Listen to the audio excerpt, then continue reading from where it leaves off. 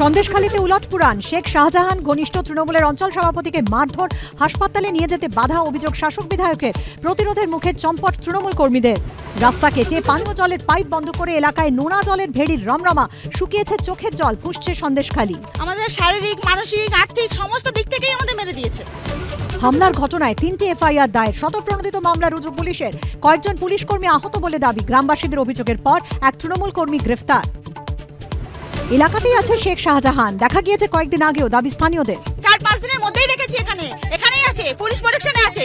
Police openly কথা বলছে সাধারণ শেখের সঙ্গে। একশো দিনের কাজে দুর্নীতির অভিযোগে এবার মুর্শিদাবাদে কর্মরত ডেপুটি ম্যাজিস্ট্রেটকে তলব ইডির আসতে বলা হলো আগামী সপ্তাহে কাল বহিষ্কৃত পঞ্চায়েত আধিকারিককে তলব। প্রাথমিকে নিয়োগ দুর্নীতি মামলায় তৃণমূলের জেলা পরিষদ সদস্যকে তলব সিবিআই এর দক্ষিণ চব্বিশ পরগনা জেলা পরিষদ সদস্য জ্ঞানানন্দ সামন্তকে আজই নিজাম প্যালেসে হাজিরার নির্দেশ। আজ রাজ্য বাজেট, ভোটের আগে সাধারণ মানুষের সুরাহায় থাকবে কি ঘোষণা? কোন কোন প্রকল্পে বাড়বে বরাদ্দ? বিধানসভা থেকে সরাসরি সম্প্রচার, এবিপি আনন্দে দেখুন দুপুর তিনটে।